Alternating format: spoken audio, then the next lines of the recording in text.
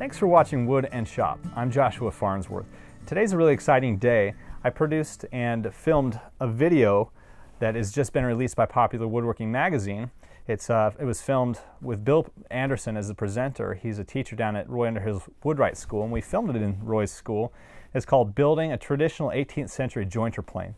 It's based off of a class that Bill teaches down at the Woodwright School, a plane that I built in one of those classes. When I was in the class, I thought, just got to do a video on this. So Bill was uh, great about filming this, and Roy was great about supporting us in filming this. And we filmed a, a, a really good step-by-step tutorial so that even beginners can make this. There's not a, there's not details left out in like in a lot of videos, so you can learn a lot of other tr traditional woodworking skills from this video.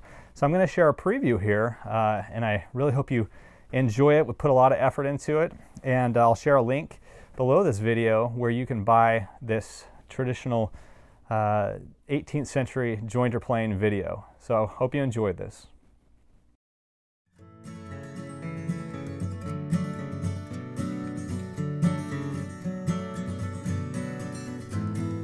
Hi, my name is Bill Anderson.